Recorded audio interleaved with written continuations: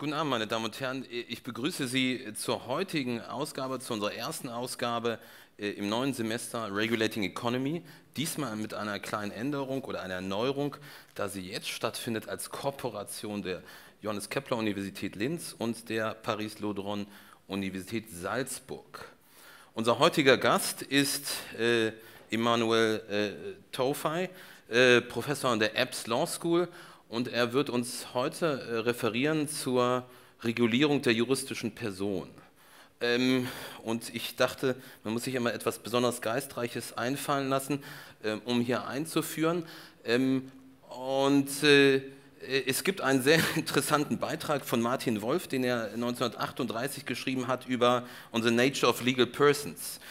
Und äh, dort kann man die bemerkenswerten Sätze lesen, Jurists have discussed it particularly in dealing with constitutional law, jurisprudence, legal history, company law, contracts and torts, also nature of legal persons. On the continent, a number of jurists have attempted to grapple with this problem. It's no, uh, so large that the legal authors may be divided into, this, into two groups, those who have written on the nature of legal persons and those who have not yet done so.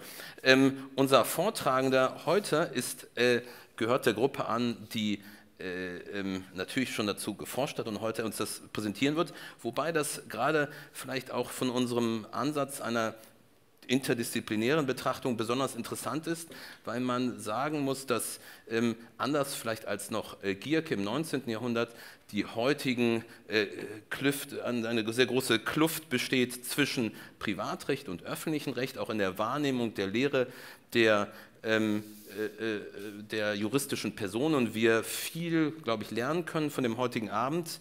Ähm, vielleicht ein paar Worte zu unserem Gast. Ähm, er forscht äh, in Law and Economics und wie ich auf deiner Homepage gesehen habe, was ich sehr fancy war, kann ich das weiter fortführen mit drei Ds, drei Ds, Diversität, Digitalisierung, Didaktik. Ähm, und danebenbei geht es natürlich in Forschungsschwerpunkte liegen auf der Governance-Forschung, die verschiedene Teilbereiche zusammenführt aus der Perspektive des öffentlichen Rechts ähm, und auch des Gesellschaftsrechts. Die, und die Methodik, die du anwendest, ist eine dogmatische rechtsvergleichen ökonomisch und insbesondere, was sozusagen eine, eine, Besonderheit ist, die man vielleicht äh, auch gerade in, in den deutschsprachigen Ländern äh, vorher muss, mit der empirischen Methoden. Ähm, ich will hier nicht weiter die Zeit äh, in Anspruch nehmen, sondern wir freuen uns sehr auf deinen Vortrag.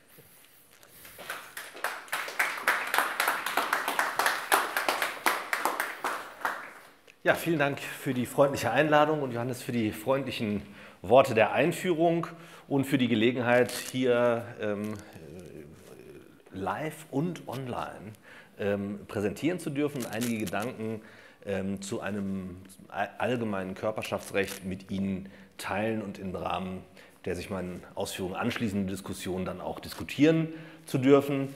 Ähm, in der Tat, ich gehöre noch zu der Gruppe ähm, that has not published about this topic yet. Das heißt, was ich heute Abend hier präsentiere, ist ähm, Work in Progress und deswegen ähm, bin ich auch sehr gespannt äh, gerade auf die Diskussion, auf das ähm, äh, gemeinsame Gespräch im Anschluss. Ähm, der Vortrag heute, da geht es vor allen Dingen um Methode und um Blickfelderweiterung, also weniger um konkrete materielle Rechtsfragen oder Sachfragen. Ähm, mhm. Ja, also Ah, okay, gut. Ähm, also es geht um Methode, um Blickfelderweiterung, mehr als um Sach- und äh, materielle Rechtsfragen. Und ich sage das deswegen, weil äh, ich ähm, mit Beispielen aus dem bundesdeutschen Recht aufwarten werde. Ähm, und leider äh, um Nachsicht darum, dafür bitten muss, dass es sozusagen kein äh, österreichisches Anzahlungsmaterial ähm, bereitstellen konnte. Das äh, hat mich erinnert an meine erste Begegnung ähm, mit jemandem aus der Rechtswissenschaftlichen Akademie in Österreich. Da war ich selbst wissenschaftlicher Mitarbeiter und musste für das Dekanat in einer Fakultät äh, hier in Österreich anrufen. Die Dame am anderen Ende hat meinen Namen nicht verstanden, die Hand auf die Ohrmuschel gelegt und nach hinten gerufen, Herr Professor, da ist so einer mit einem reichsdeutschen Akzent. Ähm, und diesen reichsdeutschen Akzent, den müssen Sie jetzt äh, ein paar Minuten ähm, mit mir ertragen als Piefke ähm, hier in Österreich. worum geht's? Ja. Jetzt. Perfekt, super. Ähm, worum geht es heute? Mir geht es im Prinzip um das Zusammenspiel verschiedener Rechtsformen ähm, oder Organisationsformen. Ich habe ähm, vor einigen Jahren mal so ein bisschen Kassensturz gemacht und mir angeguckt, was ich so erforsche und bei der Gelegenheit festgestellt, das ist alles irgendwie all over the place. Und dann, wie man das so als Wissenschaftler, der dann irgendwie seine Biografie verkaufen muss, gerne macht, ähm, habe ich versucht zu ex post rationalisieren, also zu gucken, gibt es irgendwas Gemeinsames, war so einen roten Faden, der sich durch meine Forschung gezieht. Und äh, wie Johannes schon gesagt hat, also ich, mach, ich arbeite zur Demokratie, ich arbeite zu politischen Parteien, ich arbeite zu Religionsgemeinschaften, also relativ äh, bunt gefächert. Ich habe zu Kommunen und zum Kommunalrecht gearbeitet und äh, sozusagen in einem zweiten Leben oder im Nebenamt äh, bin ich seit über 15 Jahren in einem der größten deutschen Familienunternehmen Aufsichtsratsmitglied und habe mich da sozusagen aus praktischer Sicht sehr viel mit Corporate Governance und mit Family Governance ähm, äh, auseinandergesetzt. Und äh, da ist mir sozusagen zum ersten Mal sehr plastisch klar geworden, dass die Themen, die man da eigentlich diskutiert, sehr verwandt sind. Und ähm, dass beispielsweise, wenn man sich die Klimaaktivisten oder die Corona-Demonstrationen anschaut, einerseits da geht es irgendwie um Beteiligung, um Gehörtwerden, ähm, wenn äh, in der Demokratie über die Einführung von Bürgerräten diskutiert wird, wenn in der katholischen Kirche über den synodalen Weg gesprochen wird und in der Familiengovernance geht es auch sehr stark um Beteiligung, um Mitwirkungsrechte. Ähm, und äh, das ist so ein bisschen die Folie, vor, der Hinter, vor deren Hintergrund ich angefangen habe, darüber nachzudenken, ob es sozusagen äh, Gemeinsamkeiten gibt in Organisationsformen, wenn Menschen sich zusammentun und sich organisieren. Die Rechtsordnung fasst das alles unter den Begriff der juristischen Personen. Ähm, es geht dabei zunächst einmal um Vereinigungen von natürlichen Personen oder von Vermögensmassen, die rechtsfähig sind. Also Rechtsfähigkeit ist das Merkmal, an das, angeknüpft, äh, an das angeknüpft wird. Ähm, dazu zählen dann im Privatrecht äh, Vereine, Stiftungen, aber natürlich Kapitalgesellschaften wie die Aktiengesellschaft, wie die Gesellschaft mit beschränkter Haftung und auch Genossenschaften. Juristische Personen des öffentlichen Rechts sind dagegen Gemeinden, äh, Bund und Länder, aber auch Anstalten oder Stiftungen des öffentlichen Rechts, in Deutschland auch das öffentliche Bankwesen noch, also die Sparkassen sind öffentlich-rechtliche Körperschaften und dergleichen mehr. Äh, die rechtlichen Rahmenbedingungen dieser juristischen Personen haben sich der funktionellen Ausdifferenzierung der Rechtsordnung geschuldet, aber weitgehend unabhängig voneinander entwickelt die trichotome Gliederung der, des Rechts in die Rechtsgebiete öffentliches Recht, Zivilrecht, Strafrecht ähm, hat den Blick ein Stück weit verstellt auf die strukturellen Gemeinsamkeiten, die wir im privaten Gesellschaftsrecht und in den, im öffentlichen Gesellschaftsrecht sozusagen vorfinden und auf die Gemeinsamkeiten der häufig in allen Teilrechtsordnungen zu lösenden Rechtsprobleme und Probleme der Lebenswirklichkeit. Ich möchte heute aufzeigen, wie mit Hilfe eines intradisziplinären Rechtsvergleichs diese strikte Trennung ein Stück weit überwunden und der Blick auf die Gemeinsamkeiten möglich wird, um dann die derart gewonnenen Erkenntnisse für die Entwicklung der Dogmatik eines allgemeinen Körperschaftsrechts fruchtbar zu machen. Wie gesagt, nochmal für den Umstand, dass dieser Rechtsvergleich im Wesentlichen im deutschen Recht angesiedelt sein wird, bitte ich Sie um Nachsicht. Sie werden aber sehr schnell sehen, dass es im Ergebnis auf einzelne Normen hier überhaupt nicht ankommt. Also jedenfalls heute bei dieser frühen äh, Ventilierung der Ideen. Die Idee eines allgemeinen Körperschaftsrechts jenseits der Trennung von öffentlichem Recht und Privatrecht ist in der Geschichte der Rechtswissenschaften grundsätzlich keine neue, keineswegs unbekannt. Du hast schon auf Gierke hingewiesen. In der Entstehungsphase des deutschen bürgerlichen äh, Gesetzbuchs hat sich neben Savigny und Jering vor allen Dingen Otto Gierke mit dem Begriff und dem Wesen von Körperschaften beschäftigt. Er bezeichnete sie, Zitat, als soziale Organismen, Zitat Ende, die trotz mehr mannigfach abgestufter Erscheinungsformen ähnliche innerorganisatorische Grundstrukturen aufweisen, angefangen beim privatrechtlichen Körperschaften wie dem Verein bis hin zum Staat. Sie bilden laut Gierke ein organisches System menschlicher Verbände. Den Staat als Körperschaft des öffentlichen Rechts betrachtete er dabei, Zitat, als höchste Steigerung des Körperschaftsbegriffs. So viel nochmal ein Beitrag dazu, welche der Subdisziplinen die Königin äh, im Recht ist. Gierke war der Auffassung, dass die Unterschiede zwischen Verbänden bzw. Körperschaften des Privatrechts und des öffentlichen Rechts bloß relative seien da, Zitat, die privatrechtliche und öffentlich-rechtliche Fähigkeit bei Verbänden nur zwei Seiten einer einzigen Persönlichkeit seien. Ausgehend von diesem rechtsgebietsübergreifenden Verständnis entwickelte Gierke äh, eine allgemeine Theorie des deutschen Körperschaftsrechts, in der er gemeinsame Prinzipien zur Entstehung, Zusammensetzung, Organisation sowie zur Rechts- und Handlungsfähigkeit der Körperschaften darlegte und trotz der zahlreichen Unterschiede verschiedener Organisationen typische Organkonstellationen ausmachte, zu deren Regelung er allgemeine Grundsätze entwickelte. In der Kodifizierung des bürgerlichen Gesetzbuchs, aber auch des Gesellschaftsrechts oder gar eines allgemeinen Körperschaftsrechts spielte das dann aber keine Rolle mehr in der Folge. Also im Prinzip die Tradition ähm, äh, Savigny und Jering setzte sich durch und die Idee eines allgemeinen Körperschaftsrechts von Gierke geriet sehr, sehr schnell in Vergessenheit und ist dann im Prinzip ähm, äh, bis auf diese äh, Debatte eigentlich nicht mehr äh, Anfang des 20. Jahrhunderts eigentlich nicht mehr aufgegriffen worden. Ähm, das soll uns heute aber nicht davon abhalten, seine Erkenntnis nochmal als Anstoß zu nehmen und ähm, zu verstehen äh, oder über ein ähm, allgemeines Körperschaftsrecht nachzudenken. Anders als Gierke weniger das konkrete materielle Recht dabei in den Blick nehmen und gestalten, sondern mir geht es darum, eine Methode zu entwickeln, die dazu befähigt, Organisationen an sich wandelnde Rahmenbedingungen und Bedürfnisse anzupassen und rechtsfähig zu gestalten. Warum brauchen wir ein allgemeines Körperschaftsrecht? Jetzt versuche ich sozusagen zu motivieren, warum Sie jetzt hier die nächsten Minuten mir weiter aufmerksam folgen sollten. Aus heutiger äh, Perspektive ist die Beschäftigung mit der Idee eines allgemeinen Körperschaftsrechts insbesondere aus zwei neuen Gründen, jenseits der Gründe, die Gierke äh, aufgeworfen hat, spannend.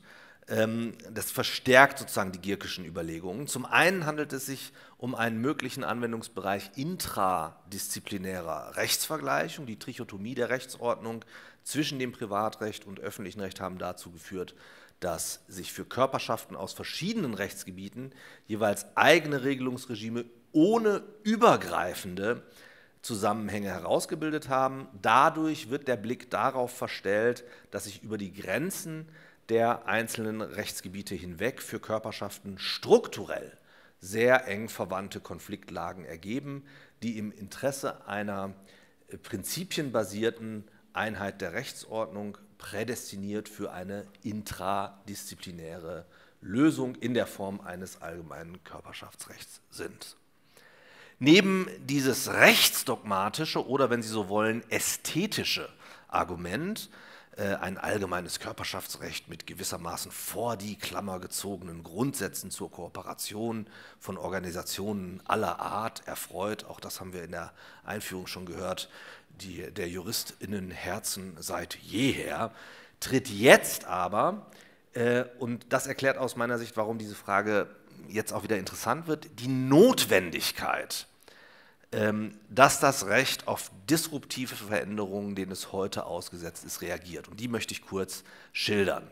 Das sind aus meiner Sicht vor allen Dingen zwei Phänomene, nämlich die Phänomene der Ökonomisierung und der Digitalisierung, die prägen und beeinflussen das Recht heute massiv. Die Regelungsgegenstände verändern sich, das Recht selbst und seine Instrumente verändern sich. Das bleibt nicht ohne Auswirkungen darauf, wie Menschen sich zur Verwirklichung bestimmter Interessen und äh, Ziele systematisch zusammenschließen. Auswirkungen auf das Organisationsrecht sind unausweichlich und gehen weit über die Motivation Gierkes für das allgemeine Körperschaftsrecht hinaus. Die Ökonomisierung des Rechts wertet die Rolle des Wettbewerbs als Organisationsprinzip auf. Wir beobachten eine Oligopolisierung und Machtkonzentration. Nur ein willkürliches Beispiel. 2022 hatte ähm, allein Apple eine Marktkapitalisierung von 2,07 Billionen Dollar, einen Umsatz von 394 Milliarden Dollar und einen Konzerngewinn von knapp 100 Milliarden Dollar. Im Vergleich dazu beläuft sich der gesamte Bundeshaushalt der Bundesrepublik Deutschland 2022 auf 457 Milliarden Euro. Ja, also nur um die Größenverhältnisse mal in den Blick zu bekommen. Informationsasymmetrien bestimmen den Rechtsverkehr. Aus dem autonomen, freien Bürger ist der manipulationsanfällige Verbraucher geworden, auch im bürgerlichen Recht. Neben staatliche Macht tritt private Macht. Die wettbewerbliche Handlungslogik führt weiterhin zu einer Privatisierungswelle, die wir in den letzten Jahrzehnten beobachtet haben. Wichtige Infrastrukturen, etwa aus dem Bereich Energie, Telekommunikation, Verkehr, werden heute von Privaten und nicht mehr von dem, äh, vom Staat bereitgestellt. Infrastrukturen wie IT und Internet werden fast ausschließlich von Privaten betrieben und reguliert. Der Staat wird selbst zum Nutzer dieser Informationsinfrastruktur. Das Recht ist damit mit einer wachsenden Konvergenz von privater und staatlicher, öffentlicher Macht konfrontiert. Wir sehen starke Machtakkumulation bei Digitalunternehmen, ähm, wie etwa Meta, Google, Twitter etc., die mit ihren Login-Plattformen ähm, äh, Infrastrukturen bereitstellen und auch öffentliche Diskurse massiv beeinflussen. Die Digitalisierung verschafft ihnen eine Machtfülle, die wir bisher nur recht ungelenk äh, eingehegt bekommen. Elon Musk kauft kurzerhand Twitter und verwirklicht hier seine ganz persönliche Vorstellung von Diskurs- und Meinungsfreiheit. Gleichzeitig wählt der Staat auf der anderen Seite zunehmend für die Erfüllung seiner hoheitlichen Aufgaben private Organisationsformen. Ja, also wir beobachten auch das andere Phänomen und Gefährdungen individueller Freiheit und demokratischer äh, Ordnung gehen in ähnlichem Maße, auf staatlicher Weise in, ähnlicher Ma äh, Weise von, in ähnlichem Maße von staatlichen wie von nichtstaatlichen oder privatrechtlich organisierten Akteuren aus. Große Unternehmen agieren also auf einmal wie Staaten und Staaten bedienen sich der Instrumente der Privatwirtschaft. Es wird immer schwieriger, diese Sphären des Privaten und des Staatlichen auseinanderzuhalten. Äh, es entsteht ein neuer Mischbereich des Öffentlichen, wenn man so will, beziehungsweise zumindest wächst dieser Bereich. Es gab diesen Bereich schon immer, aber er wächst doch deutlich, gewinnt an Bedeutung. Diese neuen Formen verfasster Macht effektiv einzuhegen, ist eine Herausforderung, der sich das Recht ganz allgemein stellen muss und diese geschilderten Phänomene rekonfigurieren das Verhältnis von Individuum und Organisation, verschärfen die Differenz zwischen natürlichen Personen auf der einen Seite und juristischen Personen auf der anderen Seite und verändern damit die Bedingungen menschlichen Zusammenwirkens. Auf Wettbewerb, Ökonomisierung und Kommerzialisierung des Öffentlichen muss insbesondere das Organisationsrecht reagieren und sich anpassen. Das also zur Motivation, warum wir so etwas wie ein allgemeines Körperschaftsrecht brauchen. Und jetzt stellt sich natürlich die Frage, wie schaffen wir das? Wie gelangen wir zu einem solchen allgemeinen Körperschaftsrecht?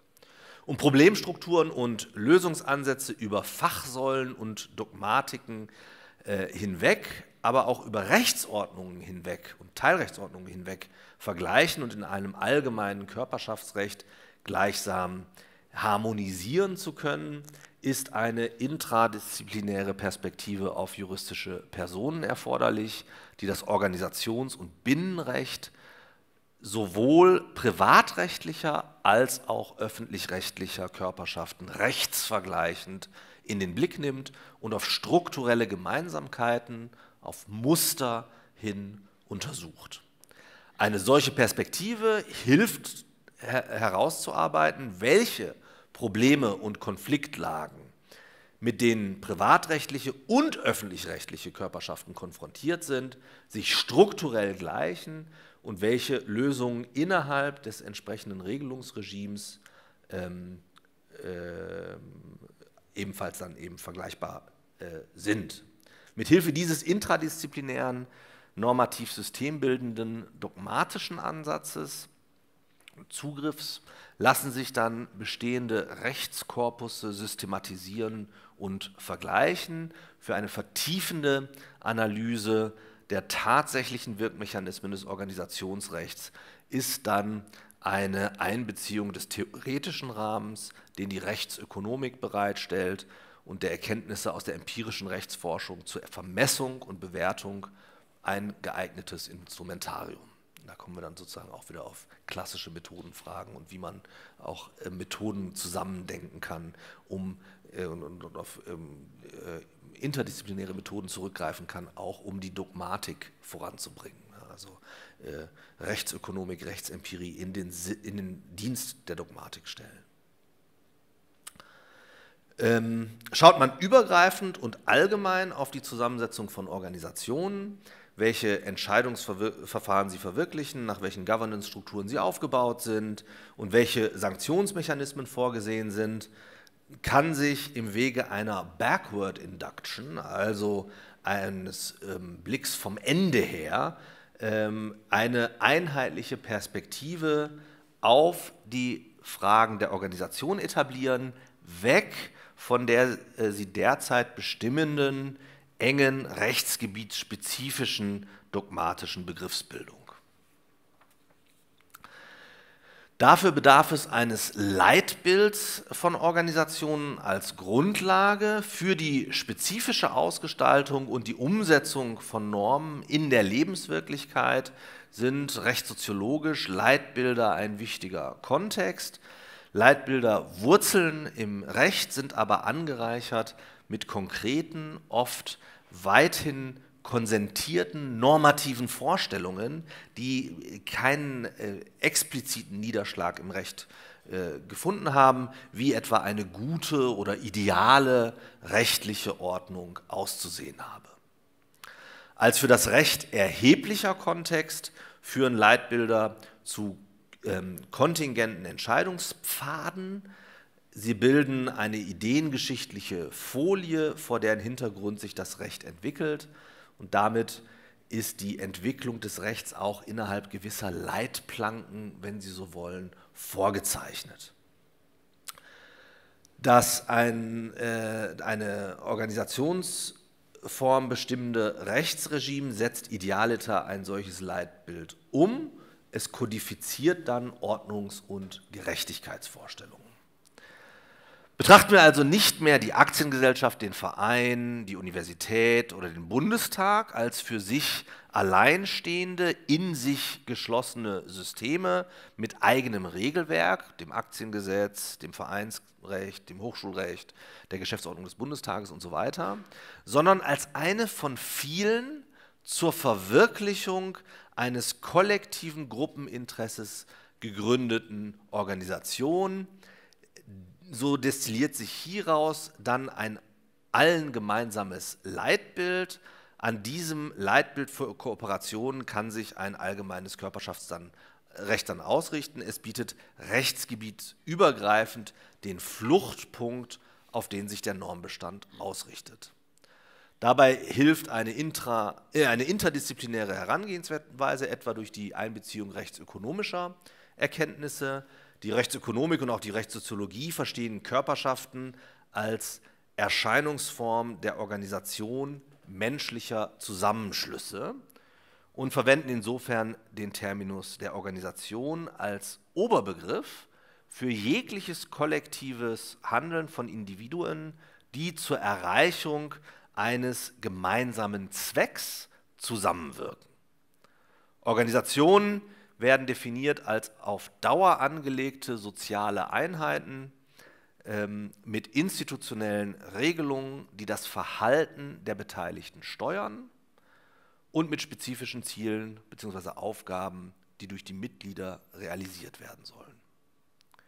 Die Unterscheidung in öffentlich-rechtliche und privatrechtliche Organisationen spielt aus dieser rechtsökonomischen oder rechtssoziologischen Perspektive naturgemäß keine Rolle. Der weite Begriff der Organisation umfasst daher nicht nur privatrechtliche Körperschaften wie Aktiengesellschaften und Vereine, sondern auch öffentlich-rechtliche Körperschaften wie den Staat und seine Untergliederung. Er konzentriert sich, der Begriff konzentriert sich auf den Organisationen zugrunde liegenden Zweck und ihre Funktionen, die Wirkmechanismen. Gemeinsamer Nenner all dieser verschiedenen Typen von Körperschaften ist das sie auszeichnende kollektive Gruppeninteresse. Und damit ihr Zweck, der darin besteht, dass die Interessen ihrer Mitglieder gefördert werden sollen. Eine Aktiengesellschaft soll die gemeinsamen Interessen der Aktionäre fördern, ein Verein die Interessen seiner Mitglieder und der Staat die gemeinsamen Interessen der Bürger und Bürgerinnen.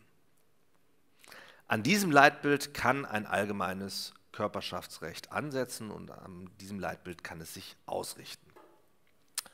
Wie gehen wir dabei methodisch vor? Lassen Sie mich Ihnen mit einem Beispiel illustrieren, wie der Prozess der Identifikation der einzelnen Bausteine einer Dogmatik des allgemeinen Körperschaftsrechts aussehen kann. Organisationen als Zusammenschlüsse von Individuen zur Verfolgung eines kollektiven Zwecks stehen regelmäßig vor der Herausforderung, dieses kollektive Interesse auch verwirklichen können zu müssen, was in der Regel nur eingeschränkt gelingt.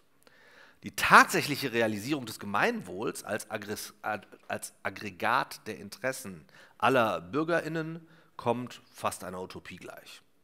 Und auch im privaten Sektor lässt sich das Unternehmensinteresse in der Realität kaum umfassend realisieren. Privatrechtlichen und öffentlich-rechtlichen juristischen Personen fällt die Verwirklichung dieses Leitbilds von Organisationen gleichermaßen schwer. Das liegt unter anderem daran, dass die Mitglieder einer Organisation ihr Handeln häufig nicht auf die Erreichung des Gruppenziels ausreichen, ausrichten. Für die Mitglieder einer Organisation ist es zunächst rational, sich in einer Organisation zusammenzuschließen, um das Gruppeninteresse und das eigene Interesse zum individuellen Vorteil ähm, äh, zu verwirklichen. Also der Zusammenschluss ähm, entspricht äh, einem individuellen, verspricht einen individuellen Vorteil, ähm, solange es eben mit dem kollektiven Gruppeninteresse synchron ist. Ähm, aber aus persönlichen Eigeninteressen mehrerer äh, Individuen entsteht eben auch ein kollektives Interesse, an dessen Erreichung jedes Mitglied der Organisation ein persönliches Eigeninteresse hat. Der rationale Homo economicus, also das Leitbild der Rechtsökonomik, maximiert so durch den Zusammenschluss zunächst seinen eigenen Nutzen. Handelt es sich bei dem gemeinsamen Interesse einer Organisation um ein sogenanntes Gemeinschaftsgut, in dessen Genuss alle Mitglieder unabhängig von ihrem persönlichen Beitrag zu den Kosten für die Bereitstellung dieses Guts kommen, fehlt es allerdings an Anreizen für das einzelne Mitglied, ähm, sich hier zur ähm, oder eigene Ressourcen für die Erreichung des kollektiven Interesses einzubringen. Sich selbst mit Kosten für einen eigenen Beitrag für die Gemeinschaft belasten, wäre in einer solchen Situation wiederum nicht rational im Sinne der Rationaltheorie des Homo economicus. Ähm, Organisationen zeichnen sich gerade dadurch aus, dass sie einen unteilbar allen Mitgliedern zukommenden Vorteil bieten, dessen Bereitstellung ist ihre grundlegende Funktion, so wie der Staat als Organisation für seine Mitglieder, also die BürgerInnen, Gemeinschaftsgüter bereitstellt so stellen auch private Organisationen, Vereine, Aktiengesellschaften Gemeinschaftsgüter bereit. Ein fehlender Beitrag der Mitglieder beeinträchtigt dann die zielgerichteten, den zielgerichteten Handlungswillen der Organisation insgesamt, aber weil es sozusagen nur einzelne Mitglieder sind, zunächst mal nicht wesentlich, weil der einzelne Beitrag die Belastung für die übrigen Mitglieder nicht merkbar steigert. Wir haben es also mit einer klassischen Trittbrettfahrer-Problematik zu tun. Ähm, je größer die Zahl der Mitglieder der Organisation und allgemeiner das durch sie bereitgestellte, bereitgestellte Gemeinschaftsgut, umso geringer ist die Chance, die Mitglieder zu einer aktiven und effektiven Verfolgung des gemeinsamen Interesses der Organisation zu bewegen.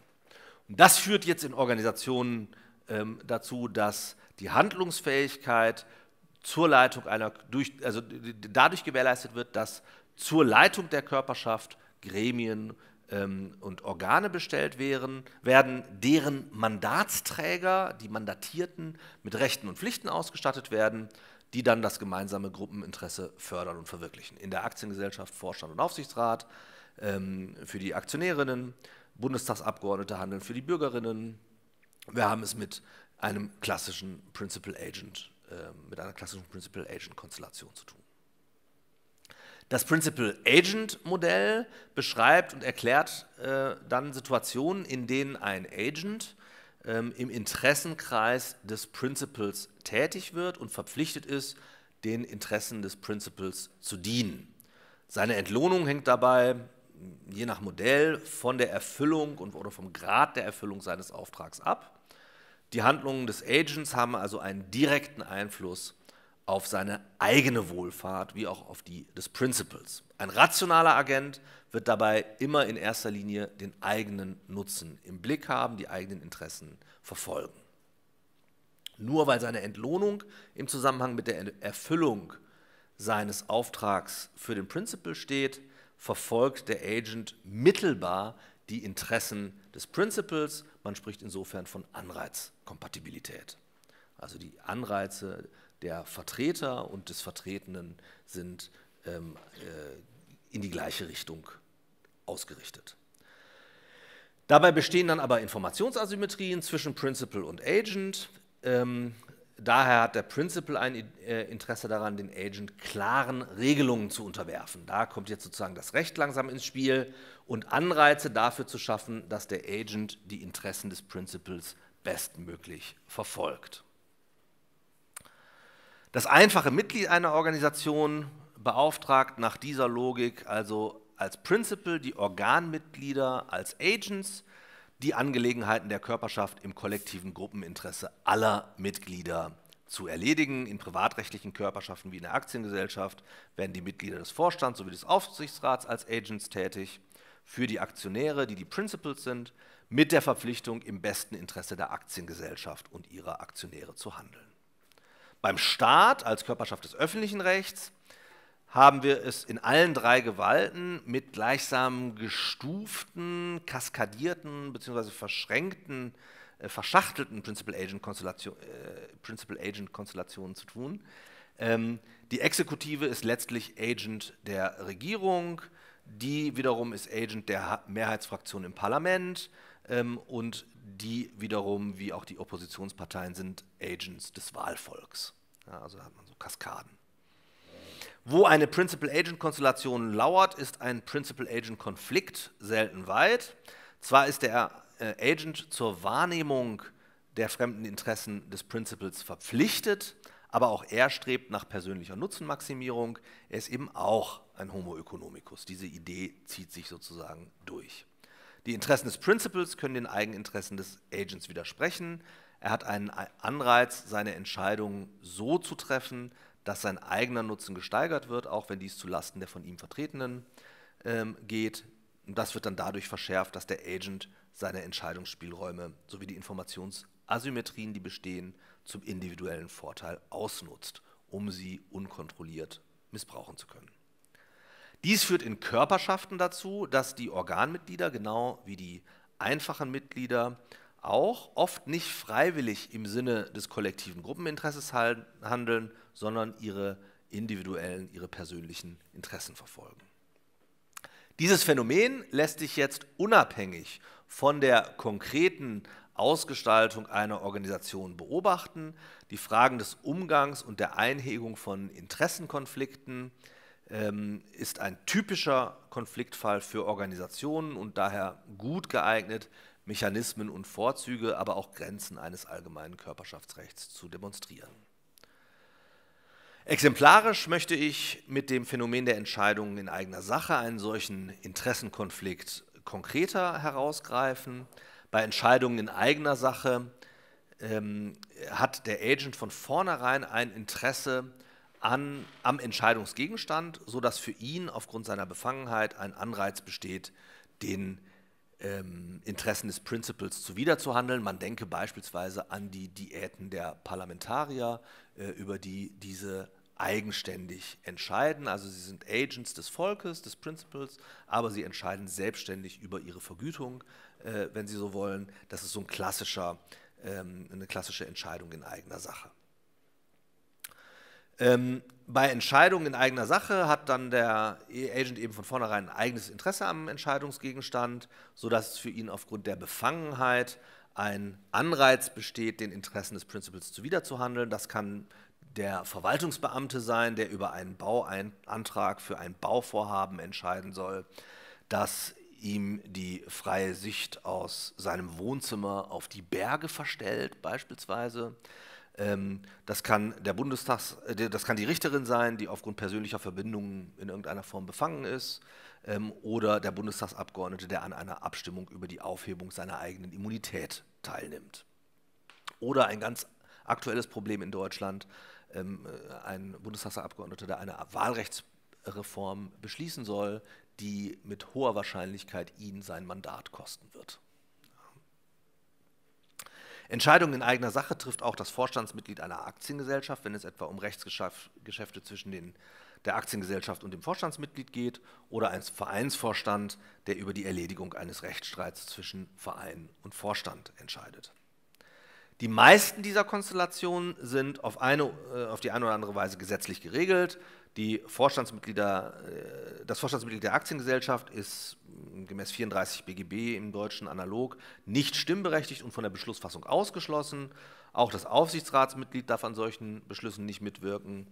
Die in öffentlich-rechtlich Konstellationen auftretenden Interessenkonflikte werden überwiegend auf der Grundlage des Prinzips Nemo Judex in sua causa, das vor allem in der Judikative, aber auch in der Exekutive eine Rolle spielt, mit entsprechend einfach gesetzlichen Konkretisierungen, etwa in der Zivilprozessordnung bzw.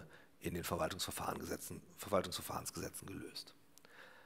Also der Nachbar darf wieder deutsches Beispiel nach 20 VWVFG, nicht über seinen eigenen Bau oder nicht über den Bauantrag des Nachbarn entscheiden und für den Richter regelt 41 der Zivilprozessordnung die Fälle, in denen er wegen Befangenheit von der Ausübung des Richteramts ausgeschlossen ist.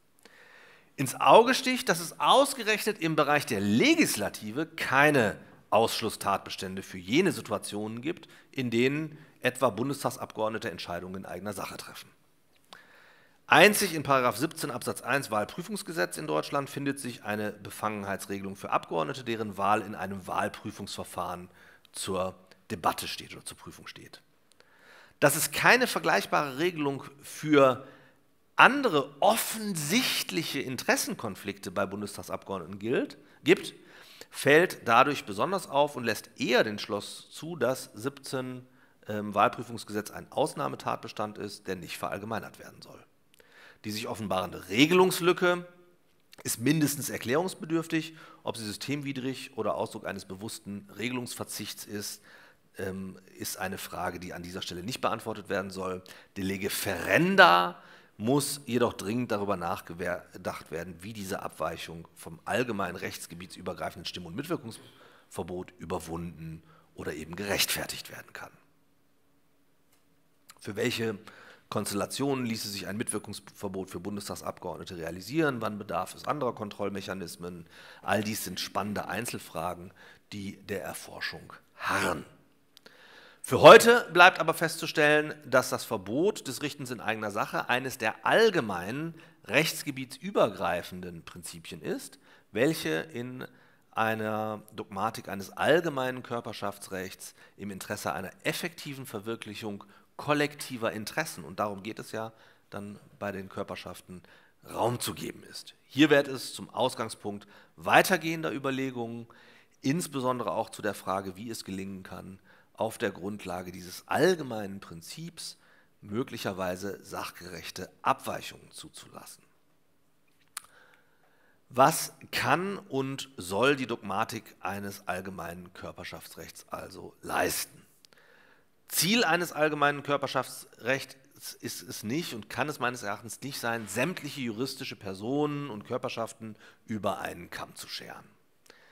Ein konkretes Gesetzeswerk zu schaffen, das für alle gleichermaßen gilt. Ein One-Size-Fits-All für alle Körperschaften ist unwahrscheinlich nach meinem heutigen äh, Einsichtsstand. Die Aufgabe eines allgemeinen Körperschaftsrechts soll es vielmehr sein, jene Strukturprinzipien zu identifizieren, die rechtsgebietsübergreifend charakteristisch für Organisationen sind. Das habe ich versucht am Beispiel von Interessenkonflikten und Entscheidungen in eigener Sache exemplarisch aufzuzeigen. Ein anderes Organisationen charakterisierendes Strukturprinzip ist etwa der Grundsatz von Checks and Balances, ähm, sichtbar als Gewaltenteilungsprinzip im öffentlichen Recht einerseits und der dualistischen Struktur mit Vorstand und Aufsichtsgremium im privaten Gesellschaftsrecht andererseits.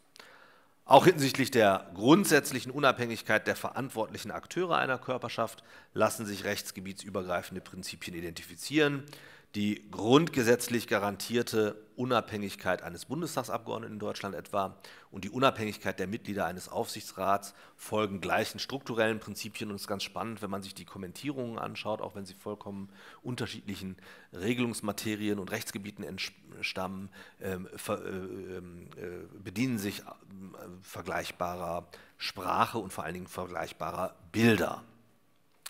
Ähm, daneben kann man über Mitwirkungs- und Beteiligungsrechte und Formen nachdenken. Das ist dann mehr so der äh, Transfer vom öffentlichen Recht und vielleicht vom kollektiven Arbeitsrecht hin ins private Gesellschaftsrecht. Wir lernen also ganz grundsätzlich, wie menschliches Zusammenwirken organisiert und verfasst werden sollte, um eine möglichst effektive Verhaltenssteuerung durch das Recht zum größtmöglichen Nutzen der Beteiligten zu erreichen. Und hieraus kann sich dann eine allgemeine Handlungslogik für Kooperationen herausbilden, die dann den Weg bereitet für ein äh, universeller anwendbares Instrumentarium.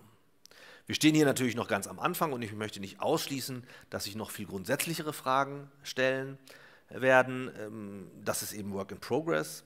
Äh, etwa danach, ob sich nicht die althergebrachte Logik oder Handlungslogik Wirtschaft versus Politik bzw. Freiheitsrechte versus Kompetenzen angesichts der fortschreitenden Ökonomisierung überholt hat und sich äh, vielmehr vielleicht doch eine allgemeinere Handlungslogik für Kooperationen herausbilden sollte. Die Entwicklung einer Dogmatik für ein allgemeines Körperschaftsrecht ähm, erscheint jedenfalls in verschiedener Hinsicht lohnenswert. Der weite rechtsgebietsübergreifende Blick auf unsere Rechtsordnung bietet die Chance, die Defizite, die mit der strikten Trichotomie der Rechtsordnung äh, verbunden sind, zu überwinden und ihnen sogar innovative Optimierungspotenziale abzugewinnen. Indem allgemeine Strukturen identifiziert werden und ihre Umsetzung in den jeweiligen Körperschaften evaluiert äh, wird, werden möglicherweise Regelungslücken sichtbar, äh, die bei rein isolierter Betrachtung nur einzelner Körperschaftstypen innerhalb eines Rechtsgebiets und ohne Berücksichtigung eben dieser Kooperationen prägenden Strukturprinzipien mitunter nicht aufgefallen sind, nicht aufgefallen wären oder nicht als problematische Regelungslücke wahrgenommen würden. Das Beispiel der Entscheidung in eigener Sache hat das etwa gezeigt. Durch den interdisziplinären Rechtsvergleich ähm, ist äh, offenkundig geworden, dass es ähm, gesetzliche Regelungen zur Entscheidung in eigener Sache äh, ermangelt. In der Legislative und dass das ein Widerspruch zu, zum allgemeinen Strukturprinzip des Mitwirkungsverbots ähm, steht und dem allgemeinen Leitbild von Körperschaften daher widerspricht. Wie in diesem konkreten Fall mit der Lücke umzugehen ist, äh, ist Stoff für einen weiteren abendfüllenden Vortrag. Dieser Frage werden vor allem innerhalb des öffentlichen Rechts auch heute schon diskutiert. Ich bin sicher, ein Rekurs auf das öffentliche, auf ein allgemeines Körperschaftsrecht würde zahlreiche Argumentationstopoi liefern, mit welchen Maßnahmen die Lücke geschlossen und dieser klassische Interessenkonflikt befriedet werden kann. Dabei möchte ich es für Erste belassen. Vielen Dank für Ihr Ohr und für Ihre Langmut gegenüber dem reichsdeutschen Akzent. Vielen Dank.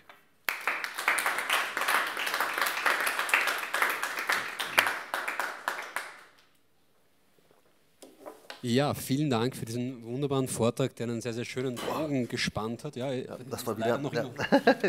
genau so Entschuldigung. Ja. Ähm, der uns auch sehr schön äh, die verschiedenen Seiten öffentliches Recht, Privatrecht aufgezeigt hat. Und bevor ich jetzt hier die Gunst der Stunde nutze, dass ich sowieso schon spreche, schaue ich einmal in die Runde, ob jemand anderer vorpreschen möchte mit einer Frage. An dann gerne, Herr Kollege.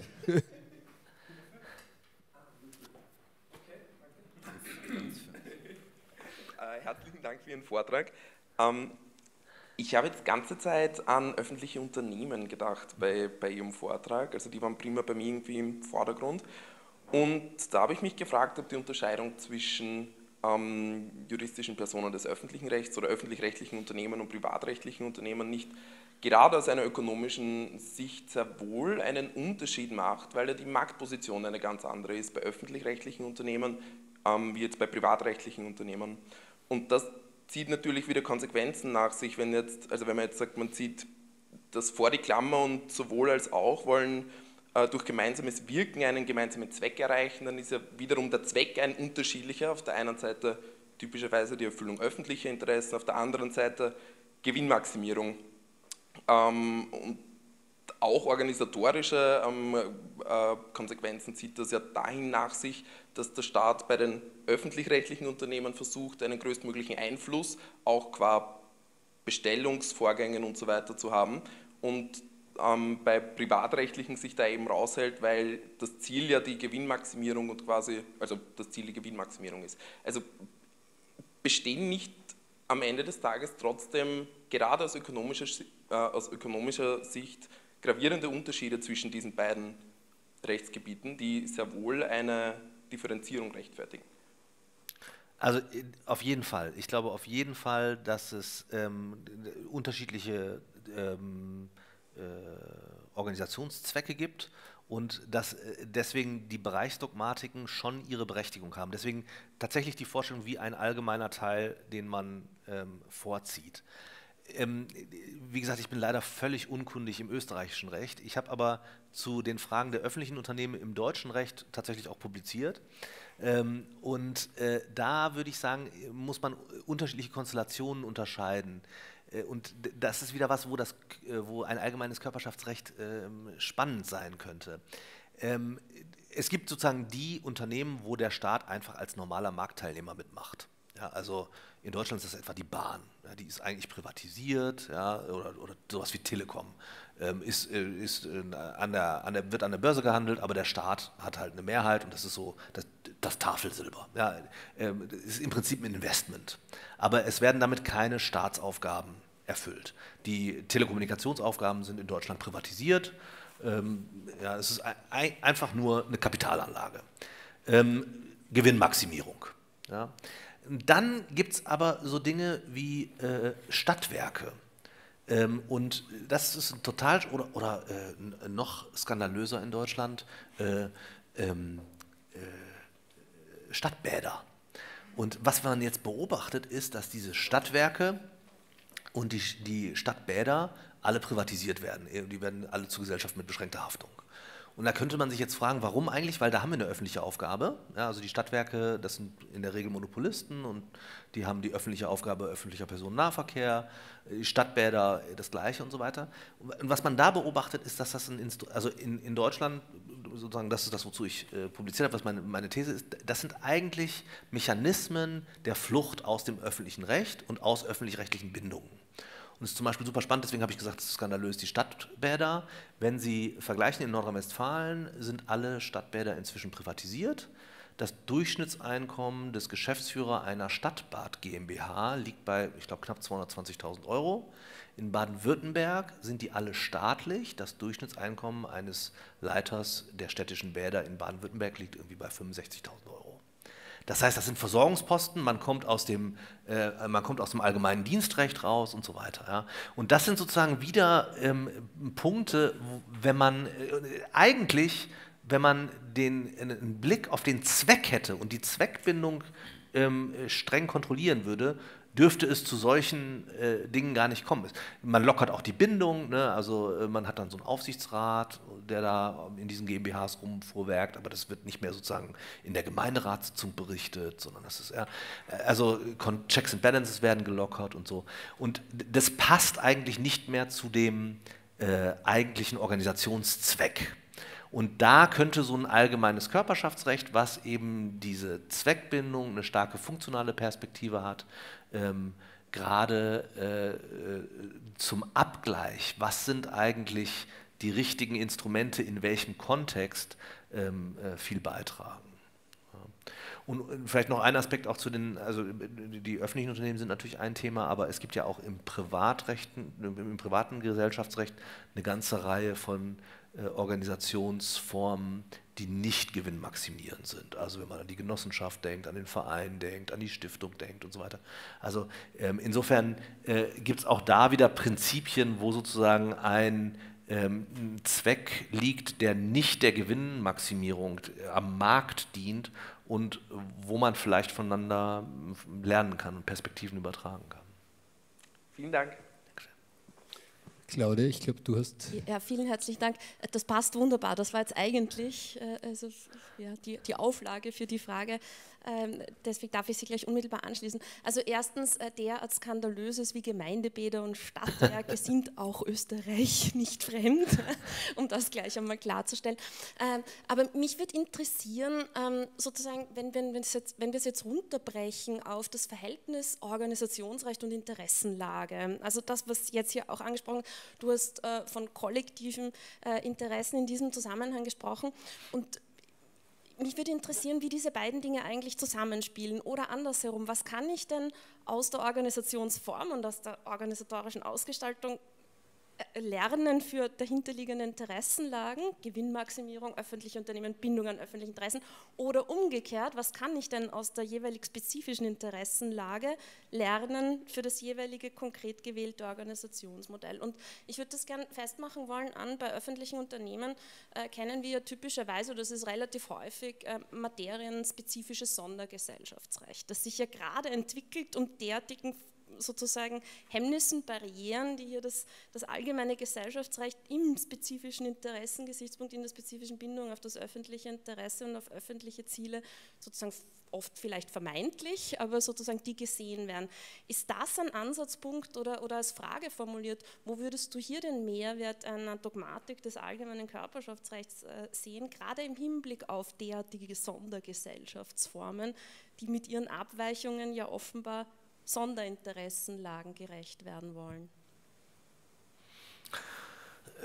Also diese Sondergesellschaftsrechtsdogmatiken, ähm, die haben wir im deutschen Recht ähm, so nicht. Also äh, wir, oder?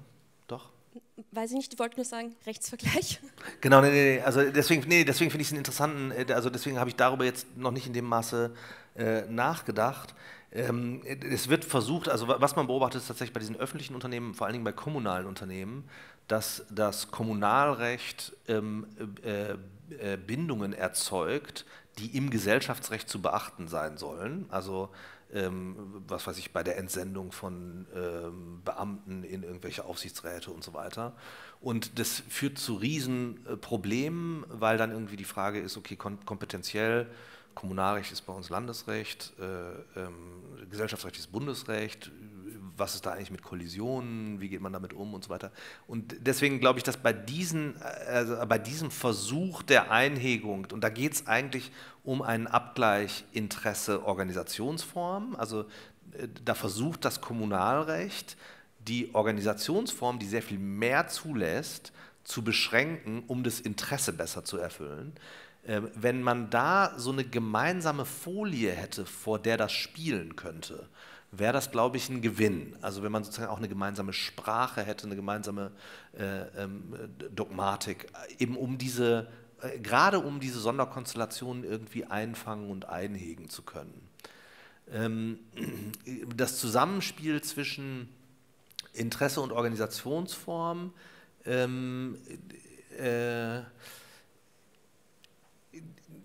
also ich glaube, das ist tatsächlich wahrscheinlich das, was die unterschiedlichen Dogmatiken auszeichnet. Also dass wir beispielsweise bei der Aktiengesellschaft, ähm, also ich vermute, dass hier auch so ist, in, Deutschland jedenfalls eine klare Gewinnmaximierungsabsicht erfordern. Ja, also das ist äh, sozusagen in Deutschland Voraussetzung, ähm, während bei der Gesellschaft mit beschränkten Haftung ähm, Zweckfreiheit bestimmt. Also die müssen eine, Gesellschaft mit beschränkter Verhaftung muss in Deutschland keine, Gewinnerzielungs, äh, keine Gewinnerzielungsabsicht verfolgen.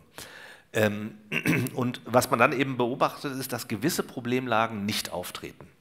Also äh, bei diesen ähm, streng am Markt ausgerichteten Marktteilnehmern wie Aktiengesellschaften ähm, ist die Anreizkompatibilität sehr viel leichter herzustellen als ähm, äh, im öffentlichen Bereich, wenn es um öffentliche Güter geht. Ja. Ähm, und deswegen stellen sich bestimmte Probleme ähm, da nicht. Das führt dann aber auch auf der anderen Seite zu bestimmten Formzwängen, ja, damit diese Anreizkompatibilität besonders wirkungsvoll hergestellt werden kann. Und es sind schon umgekehrt dann auch wieder Erwägungen, über die man nachdenken kann. Also das Aktienrecht hat ähm, sehr viele Erfahrung und Expertise entwickelt, wie man Anreizkompatibilität erzeugt und wie man sozusagen äh, Anreizdivergenzen absondert oder ausscheidet, ja, also Mitwirkungsverbote und so weiter. Äh, und viele dieser grundlegenden Ideen, die ließen sich aber auch auf andere Zwecke übertragen. Also äh, könnte man sich überlegen, okay, äh, äh, in Bereichen, wo, wir, wo die Anreizkompatibilität schwerer herzustellen ist, wo müsste man dann vielleicht erst recht Mitwirkungsverbote ähm, äh, und so weiter ähm, etablieren. Ja? Ähm, und gleichzeitig vielleicht lässt sich auch, also bei diesen Marktteilnehmern ist halt immer, weil wir eine Währung haben, wir haben eine einheitliche Währung, Geld. Ja, und sozusagen äh, der Aktionär möchte Geld, der Vorstand möchte Geld, der Aufsichtsrat, alle wollen Geld. Ja. Und dann ist es irgendwie ganz leicht, dann sagen wir, okay, wenn, wenn äh, irgendwie das Unternehmen viel Geld macht, kriegen alle viel Geld und das, damit sind alle gleich ausgerichtet. Ja. Und das ist sozusagen bei öffentlichen Zwecken sehr viel schwerer äh, herzustellen, aber ich glaube, dass das äh, und wie gesagt, Work in Progress, äh, dass das äh, aktienrechtliche Organisationsstatut besonders geeignet ist und besonders darauf ausgerichtet ist, diese Anreizkompatibilität dauerhaft zu gewährleisten. Und möglicherweise lassen sich da Dinge lernen, die wir sozusagen auch in Bereichen, wo wir diese Anreizkompatibilität noch viel weniger haben, auch äh, einsetzen ließen. Schaue ich nochmal in die Runde. Ansonsten äh, Johannes zuerst. Ähm, Würfel? Okay. Oder das Mikro. Also gut. Ähm, das mit den Städtbädern ist natürlich relativ tragisch. Äh, übrigens, äh, das ist eine Sache, die in Österreich meiner Ansicht jedenfalls in Linz viel besser funktioniert, weil in meiner alten Heimatstadt haben sie alle Bäder damit zugrunde gerichtet, wo im Gegensatz, äh, und das sieht man auch in einem fatalen ich glaube, äh, die DGRCTS hat jetzt gesagt, dass die Todesrate unter Jugendlichen ziemlich gestiegen ist, weil die alle nicht mehr schwimmen können. Und in, in, in Linz haben wir ein wunderbares Bad hier. Aber anderes Thema. Ähm, äh, aber vielleicht sagt das auch sozusagen eigentlich auch schon was äh, in der Identifizierung der Güter und der öffentlichen Güter. Ja? Also, dass man einfach äh, manche Dinge halt eben aus dem Wettbewerb herausstellen ja. soll. Äh, wobei ich jetzt zwei Fragen habe in dieser Individualisierung und äh, der, der, in, im normalen Gesellschaftsrecht, gerade im amerikanischen Gesellschaftsrecht, gibt es ja die Theorie der Wettbewerb der Rechtsform ähm, und in der Ausrichtung. Ähm, und die haben ja einen ganz eigenen Diskurs, aber da habe ich mir gefragt, wenn wir jetzt schon über private Rechtsformen und Körperschaften des öffentlichen Rechts sprechen, bringt das überhaupt was? Und haben wir nicht immer das große Problem, dass ja eigentlich der staatliche Akteur selber Monopolist ist, weil er sich selber sagt, ich sage, wer jetzt die öffentlichen Zwecke verfolgt und deswegen wir da an sich schon eine Schwierigkeit haben, weil ähm, führt uns dieses allgemeine Körperschaftsrecht überhaupt weiter? Weil ja dieses Marktmodell der, der Kompetition der Gesellschaften, die aus Delaware und sonst was kommen, das funktioniert ja für staatliche Akteure nicht so gut. Ähm, zweiter Punkt, äh, du hast, und da, da, will ich dich so ein bisschen stacheln, du hast immer gesagt, von der Ordnungs- und Gerechtigkeitsvorstellung. Ach, wie schön. Ja? Ähm, was ist das denn?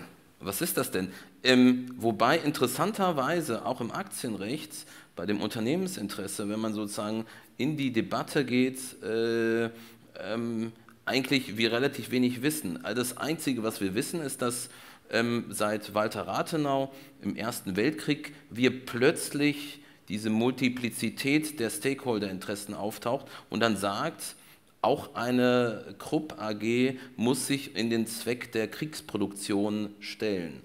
Und das kann man auch heute sozusagen noch weiter spielen und sagen, auch eine Aktiengesellschaft muss sich in die Zwecke der Frauenförderung, in die Zwecke der Nachhaltigkeitszwecke und so weiter ziehen. Ich habe immer aber nur das Problem, auch jetzt bei den Gruppeninteressen, äh, ist das eine Frage des Körperschaftsrechts oder eigentlich dieser politischen äh, Zielstellung? Ähm, ist, die, ist das Körperschaftsrecht dem eigentlich neutral ausgesetzt? Oder wie machen wir das, dass wir sozusagen eigentlich diese Zwecke verwirklichen? Ist das wirklich das Ziel oder ist es eigentlich eher nur sozusagen das Vehikel, sozusagen die Waffe äh, und das, das Werkzeug? Ich würde sagen, in der Tat, dass das Körperschaftsrecht eigentlich agnostisch ist, was die Zwecke angeht und dass die Zwecke sich entweder aus dem Verband ergeben, also die Mitglieder, die sich zusammensetzen in einem Schachverein, um äh, dem Schachspiel zu frönen, äh, dann ist das sozusagen der Zweck und die, die sich in einer Aktiengesellschaft zusammentun, um äh, Munition zu produzieren, die äh, machen das mit Gewinnerzielungsabsicht. Ja, also das ist äh, und ähm, jedenfalls meine Perspektive dieses allgemeinen Körperschaftsrechts verhält sich dazu neutral oder agnostisch. Die findet diesen Zweck vor.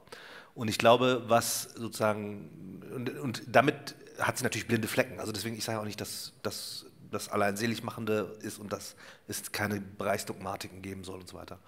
Ähm, aber äh, ähm, ich glaube, was die Stärke ist, ist, dass äh, gerade das, was Claudia vorhin gesagt hat, nämlich äh, Interesse und Organisationsform wirklich in den Blick geraten, sehr kontrastgestärkt und man guckt, okay, wie kann man die Organisationsform äh, wie wählt man die optimale Organisationsform zur Verfolgung äh, eines bestimmten Interessentyps. Bei äh, dem Vergleich mit Amerika und ähm, äh, ähm, Wettbewerb der Rechtsformen und der Rechtsordnung, da hat man ja einen Interstate-Wettbewerb vor allen Dingen. Also es geht um, ähm, und den haben wir theoretisch auch in Europa ja, ein Stück weit, ja, obwohl der in der Praxis nicht zum Tragen kommt, aber könnte man hier auch haben. Also wenn irgendwie Luxemburg, die Luxemburger machen das mit dem Stiftungsrecht. Also wenn, wenn man guckt, es werden in Deutschland eigentlich kaum mehr Stiftungen gegründet, das geht alles nach Luxemburg. Ja. Ähm, aber abgesehen von solchen Spezialspielchen äh, ähm, äh, haben wir da keinen echten Wettbewerb. Ich glaube nicht, dass der angesiedelt ist auf der Ebene der Zwecke sozusagen. Ähm, äh, und äh, ich glaube auch, dass, wie gesagt, die Zwecke im öffentlichen und zivilen Gesellschaftsrecht ähm, gibt es ähnliche Zwecke in beiden Ordnungen. Und wenn man sich beispielsweise das deutsche Steuerrecht jedenfalls anguckt, da gibt es dann gemeinnützige Organisationen, also ein Verein kann einen öffentlichen Zweck verfolgen und wird dann steuerfrei gestellt oder so oder steuerlich begünstigt. Ja. Also insofern äh, glaube ich, dass da nicht der Wettbewerb ist, sondern der Wettbewerb ist tatsächlich in der Regel ähm, äh, Gründungsaufwand und ähm, äh, sozusagen laufender Aufwand einerseits ja, für, die, für die Rechtsform, wie schnell kriege ich das hin, wie aufwendig ist es, was für Publikationspflichten habe ich und so weiter. Und sehr oft, wie liberal ist es, ja, also was kann ich machen, bin ich in ein relativ strenges Korsett gezwängt oder kann ich meine Organisation eigentlich spielen, wie ich möchte. Und da muss man irgendwie den Softspot treffen, weil völlige Liberalisierung äh, vom Markt auch nicht gutiert wird. Ja, man möchte schon so ein bisschen, aber es ist natürlich vorteilhaft, wenn äh, die Organisation möglichst nah an den Zweck herangeführt werden kann, sozusagen.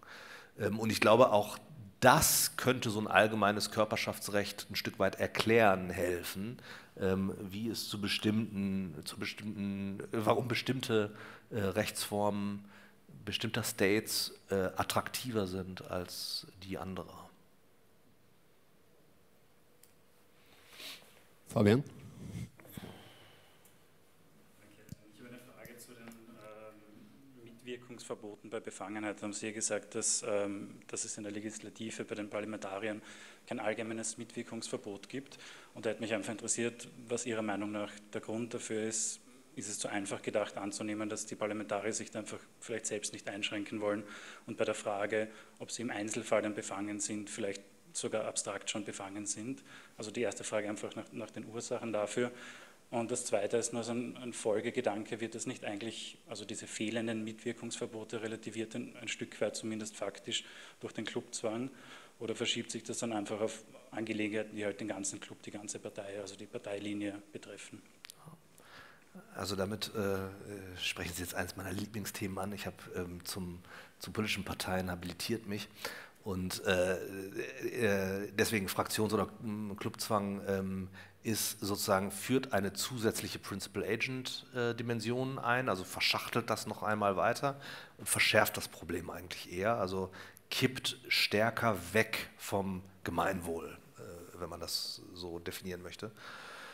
Ähm, und äh, ja, ist insofern kein. Und das Besondere dabei ist, dass sie sogar nicht nur ähm, Club- oder Fraktionsinteressen haben, sondern etwa bei den Diäten sozusagen über das ganze Parlament. Da sind sich alle Parlamentarier einig. Ja? Ähm, und da, die, die Opposition äh, kann sich den Luxus leisten, zu sagen, ah nee, viel zu viel und das wollen wir auf gar keinen Fall. Und natürlich freuen sie sich am Ende des Monats äh, äh, genauso, aber ja, das, deswegen ist sozusagen immer die, die äh, Koalition oder die Regierungsfraktion in der, äh, da so ein bisschen im, äh, im Blickfeld, aber wenn man sich das anguckt, also Linke wie Rechte, jedenfalls in Deutschland, tut sich da nichts. Ja. Also das ist immer alles ganz moderat, was die machen. Ähm, und natürlich liegt das an dem, was Sie schildern und die Frage, also sozusagen an den Individualinteressen. Das sind eben einfach Entscheidungen in eigener Sache. Und da ist auch die Frage, okay, was würde ein allgemeines Körperschaftsrecht da jetzt eigentlich bringen?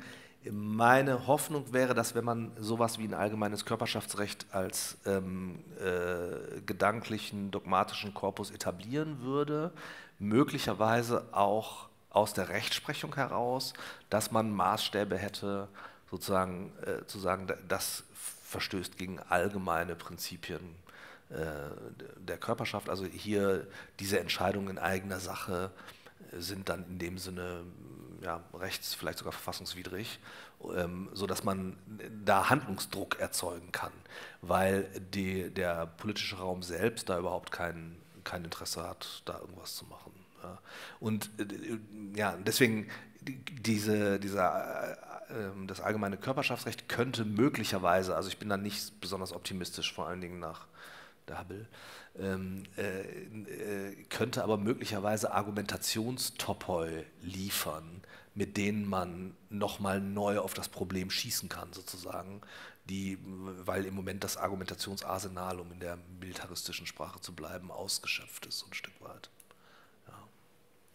Wenn ich da ganz kurz nachfragen darf, ist es vielleicht nicht auch ein, ein, Element zur Sensibilisierung, weil vielleicht ist es jetzt, ohne auf Parlamentarier hinschießen zu wollen, dort eben gerade nicht bewusst, dass es so etwas wie Interessenkonflikte und Nichtmitstimmen geben könnte, während uns das halt im Gesellschaftsrecht eben von Gerichten doch immer wieder vorjudiziert wird. Und insofern quasi ein, wir, eben dieser allgemeine Teil, gerade dieses Sensibilisierung äh, und, und vor Augen führen von gewissen Themen einfach bei einen Beitrag dazu leisten könnte. Absolut. Also ich habe einen Doktoranden, der gerade eine Doktorarbeit zu diesem Thema schreibt ähm, äh, Entscheidungen in eigener Sache in Parlamenten.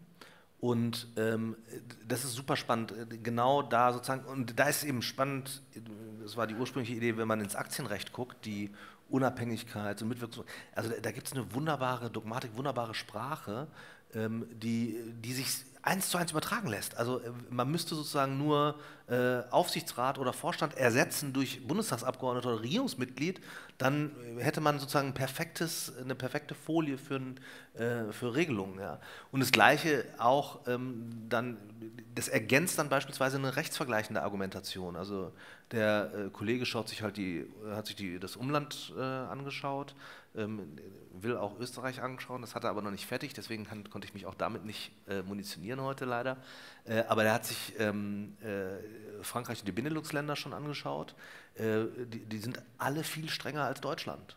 Ja, als die Bundesrepublik. Und das in, in dem Sinne, glaube ich, kann das tatsächlich zu so einer Sensibilisierung beitragen und so ein bisschen zeigen, okay, wo auch immer man hinguckt, wo es vergleichbare Konfliktlagen gibt oder Koordinationsnotwendigkeiten, äh, da werden die typischerweise auf folgende Art und Weise gelöst oder erledigt. Ja?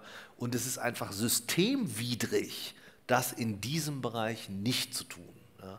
Und damit, also im, im, im, positiven Sinne sensibilisiert man, wenn man es ein bisschen kritischer sieht und formulieren möchte, ähm, erschwert man, erhöht man die Argumentationslast ähm, für diese Ausnahmetatbestände sozusagen. Ich glaube, du hast noch was aus dem Netz. Genau, ich darf eine Anfrage aus dem Live-Chat vorbringen, und zwar von unserem Mitveranstalter Philipp Homer, äh, dessen Frage sich danach richtet, ob die Herausarbeitung eines allgemeinen Körperschaftsrechts, also so einer allgemeinen Dogmatik, auch legistische Auswirkungen nehmen soll, also im Sinne äh, der Etablierung eines allgemeinen Teils des Körperschaftsrechts auf gesetzlicher Ebene. Wohin soll es gehen? Ja, also Work in Progress. Ähm, das, ist, das ist eine Frage, mit der ich äh, umgehe und morgens denke ich links rum und abends denke ich rechts rum. Also ähm, da, da, bin ich mir nicht so sicher. Es hat, es hat Vorzüge, es hat Nachteile. Ich glaube, im Sinne der eben angesprochenen Sensibilisierung wäre das total spannend. Ja, also wenn man zeigen könnte, wir haben eigentlich was, was für alle Körperschaften gilt und äh, ähm, jetzt übrigens, äh, was ist eigentlich mit Bundestag oder was ist mit äh, dem Gemeinderat äh, in Hessen oder, oder, oder, was weiß ich, mit der, mit der Ausgestaltung? Warum sind die da äh, ähm, freier oder warum können die sich befreien durch die Wahl privater Rechtsformen und so weiter? Äh, dann würde das sozusagen sehr sichtbar natürlich den, den Rechtfertigungszwang ähm, erhöhen. Und das äh, ist definitiv ein Vorteil. Ich bin ein bisschen unsicher, also das ist vielleicht auch ein Stück weit meine äh, juristische Sozialisation. Ich habe eigentlich den Eindruck, dass die Zeit der großen Kodifikation vorbei ist. Ja, also dass, dass solche, also so ein Projekt sehe ich, ich sehe niemanden, der das betreiben würde oder der das ähm, ja, anstoßen würde, das ist irgendwie mit Gierke verbrannt. So, ja. Ähm, und deswegen äh, glaube ich eher, dass sozusagen, wenn, man, wenn einem das gelingt, das als theoretisches Konstrukt aus der Wissenschaft heraus zu etablieren und man damit ähm, Argumentationshilfen für die bestehende Dogmatik für die Rechtsprechung etabliert, dass das wahrscheinlich der gangbarere, der wahrscheinlichere ähm, Weg ist. Und das ist so ein bisschen das, was ich mit dem Projekt auch verfolge. Ähm, und da ist eben die Rechtsökonomik total hilfreich und ähm, äh, trotzdem kein Fremdkörper im Rechtssystem, weil sie tatsächlich dazu beiträgt, eine informierte Dogmatik zu entwickeln. Ja, also ähm, mit dieser Ausrichtung auf Zwecke, das ist dem Recht nicht fremd, teleologisch zu denken und zu argumentieren. Deswegen kann man da, glaube ich, wenn man da so einen konsistenten Rahmen äh, aufspannt, und sowas ist ja immer wieder mal gelungen, auch aus der Wissenschaft heraus sozusagen, äh, eine neue, ein neues Rahmenwerk zu entwickeln, auf das dann die Rechtsprechung ein Stück weit aufspringt. Das scheint mir sozusagen ganz pragmatisch, wissenschaftspragmatisch der ähm, erfolgversprechendere Zugriff zu sein als sozusagen ein neues Kodifikationsprojekt. Aber vielleicht bin ich da auch zu mutlos, keine Ahnung glaube. Also äh, ich habe äh, beim Zuhören irgendwie ein bisschen so methodisch an das Instrument der Gesamtrechtsanalogie mhm. oder zumindest einer Art gesetzesübergreifenden Analogie ja. denken müssen, die ja aber zu ihrer Anwendung normalerweise einer äh, Regelungslücke des Gesetzgebers bedarf. Jetzt ist meine Frage, dieser allgemeine Teil sozusagen äh, des Körperschaftsrechts, soll der eher, Sie reden öfter von Rechtsprechung, eher schon de gelten? Oder müsste der Gesetzgeber nicht doch eingreifen, beziehungsweise wenn nicht, nimmt man dem Gesetzgeber nicht mit diesem Instrument in gewisser Weise äh, etwas von seiner Macht weg, was Demokratie politisch natürlich auch zu begründen wäre. Also, also ich glaube, es ist auf jeden Fall Rechtsfortbildung, mhm. das ist total richtig. Ähm, ich, äh, ich habe viel mit dem Doktoranden ähm, diskutiert und gesagt, äh, nee, also ich, ich, das ist keine Gesamtrechtsanalogie. Äh, und zwar, äh, ehrlich gesagt, auch wieder vom Ende gedacht, weil wenn es eine Gesamtrechtsanalogie ist, dann kommt ein ganzer Rattenschwanz neuer Probleme eben äh, die Regelungslücke und äh, muss man sich irgendwie Systemgedanken machen und so. Ähm, aber auf der anderen Seite, und äh, ich bitte ich um Entschuldigung für mein furchtbares Deutschsein, aber ähm, äh, in Deutschland ist, sind diese allgemeinen Erwägungen nicht, ist nicht unbekannt. Also wir haben zum Beispiel das allgemeine Verwaltungsrecht, ist ähm, sechs, sieben Jahrzehnte entwickelt worden und war äh, reines Richterrecht das auf Systematisierungen aus der Wissenschaft zurückgegriffen hat.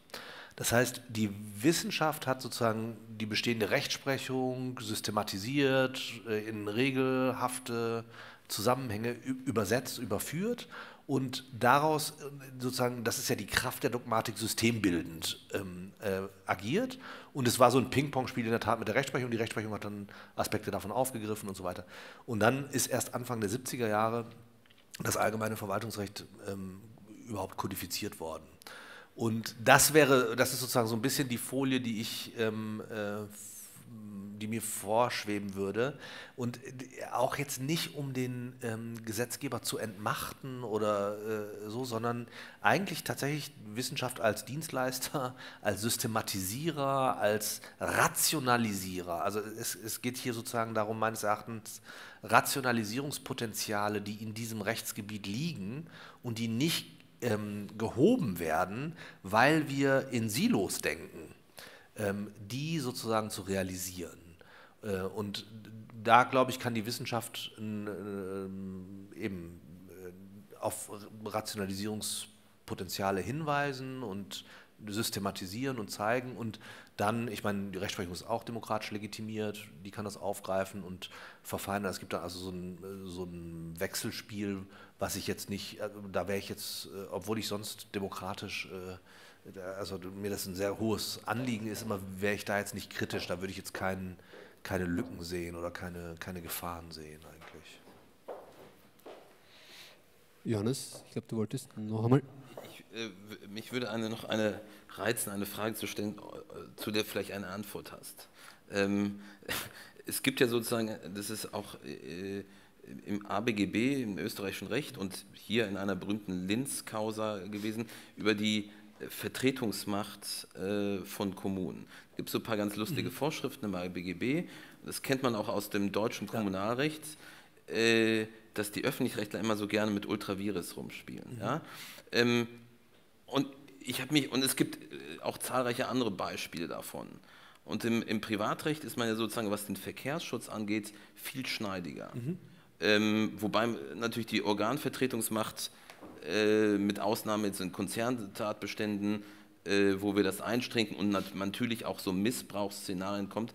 Aber es gibt so eine Tendenz, äh, würde ich jetzt mal sagen, im öffentlichen Recht, dass die historisch gewachsen ist oder so, wo man sich immer mehr zurücknimmt und wo man immer so, ist das eigentlich eine ungerechtfertigte Sonderstellung, wo der Staat sich, im, im Empfängungsrecht gibt es das auch, aber auch bei diesen Vertretungsrechten, ist das für dich eigentlich ein, ein, ein, äh, kann man das erklären, auch aus deiner Perspektive heraus? Ist das eigentlich eine ungerechtfertigte Besserstellung des Staats? Sagt man jetzt etwas polemisch, naja, äh, die Bürgermeisterin manchmal ist ja ein bisschen doof, wenn es um wirtschaftliche Dinge geht, deswegen schützen wir lieber die Kommune für sich selbst.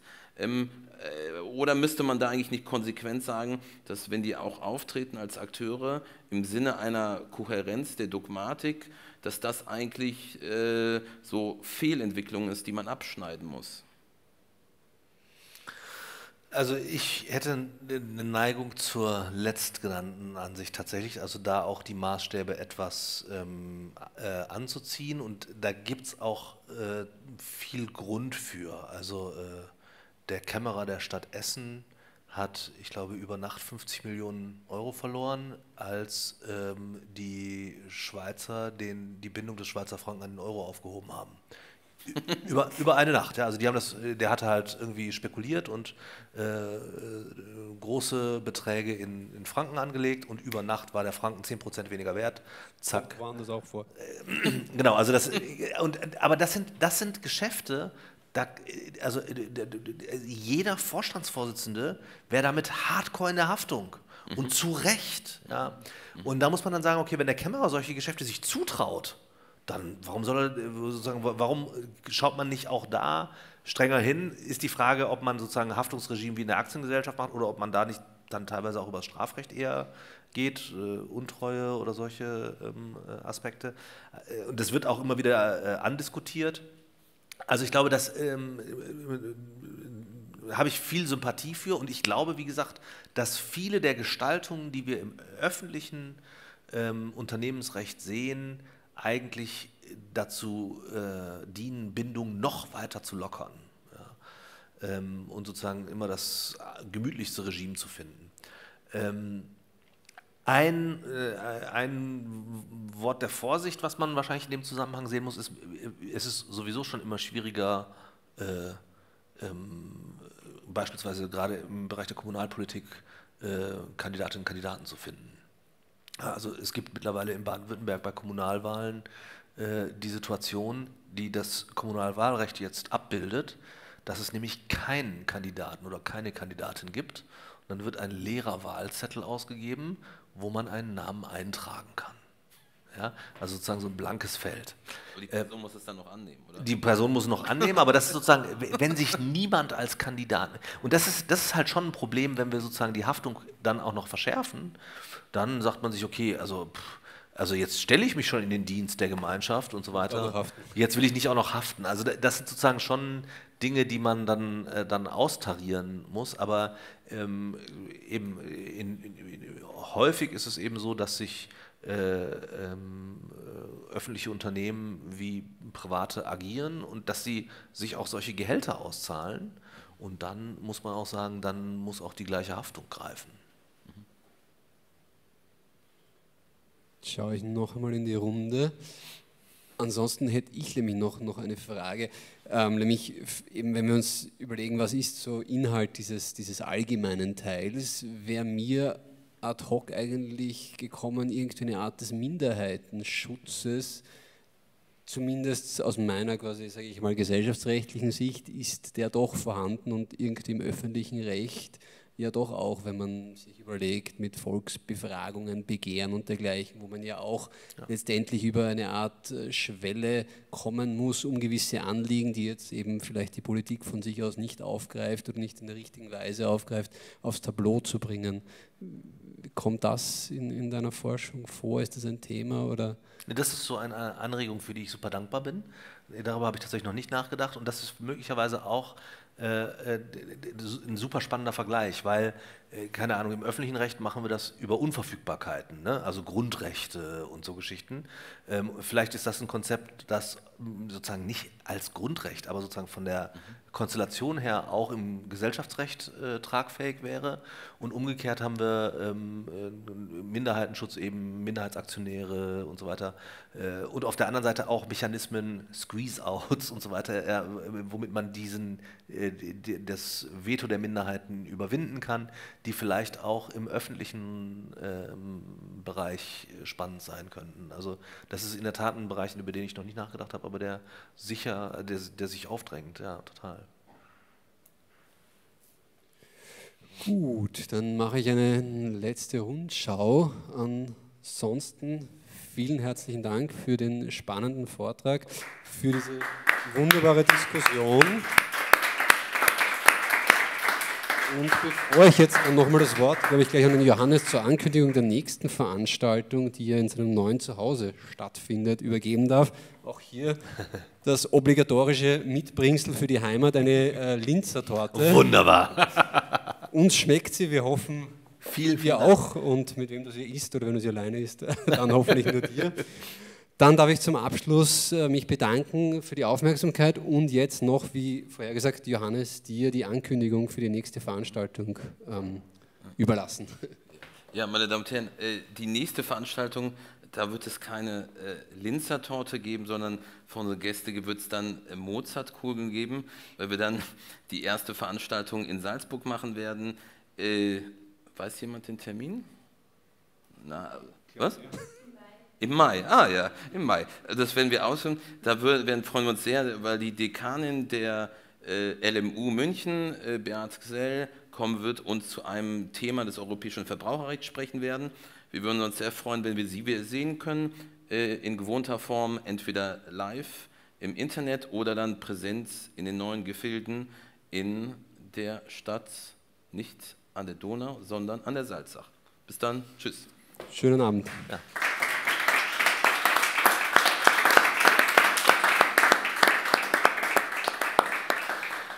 Auch meinerseits vielen Dank. Also sowohl für die Linzer Torte als auch für die engagierte Diskussion. Hat Spaß gemacht, danke.